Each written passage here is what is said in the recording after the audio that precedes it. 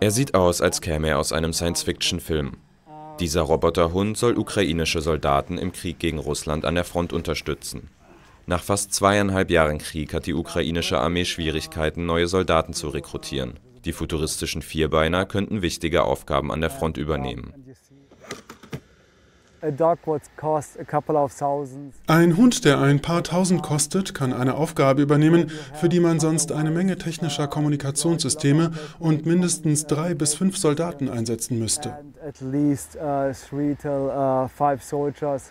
Das Modell mit dem Namen Bad One könnte zum Aufspüren von Minen und zum Auskundschaften russischer Stellungen eingesetzt werden oder bis zu sieben Kilo Munition oder Medikamente an die Front bringen.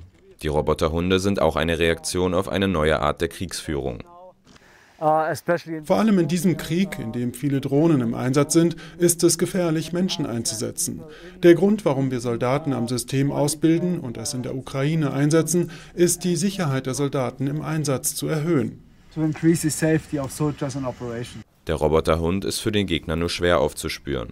Sollte das System dennoch in feindliche Hände fallen, können mit einem Notschalter alle Daten gelöscht werden